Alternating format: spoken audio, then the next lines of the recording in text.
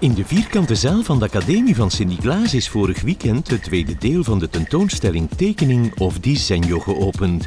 En in dit luik van de tentoonstelling draait alles rond de tekening als proces.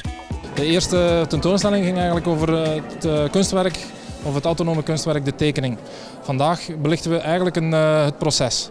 Hoe komt een, uh, een kunstenaar tot zijn uh, kunstwerk? En uh, aan de hand van schetsen en inzagen in hun schetsboeken krijgen we eigenlijk een, een zicht op het maakproces van een kunstenaar. Het is een inkijk die we krijgen. Het is soms heel intieme dingen die we te zien krijgen. Het is iets van alle tijden. we tonen hier vandaag renaissance tekenen, baroktekeningen, tekeningen van moderne meesters. En dat gecombineerd met hedendaagse kunstenaars en onze leerlingen. Het tekenwerk van de leerlingen van de Academie van Sint-Niklaas is in deze tentoonstelling zelfs actief raadpleegbaar. Op een lange tafel liggen tientallen schetsboeken die de bezoeker vrij kan inkijken.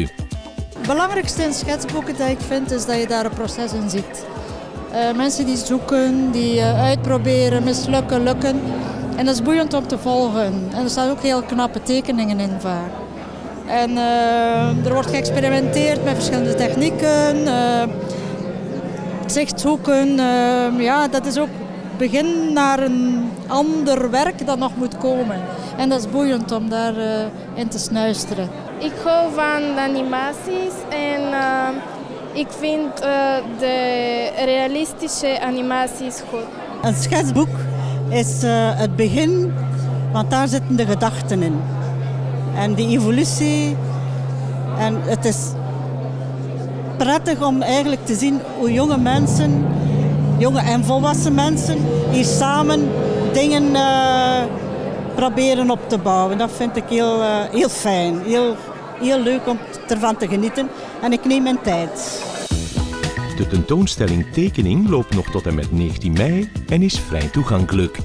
Ze zal uh, in het weekend uh, altijd open zijn, ook tijdens de paasvakantie. En uh, dat is op zaterdag en zondag, voor- en namiddag. En dan, na de paasvakantie zal ze op woensdag en donderdag namiddag geopend zijn. En ze loopt in totaal tot 19 mei.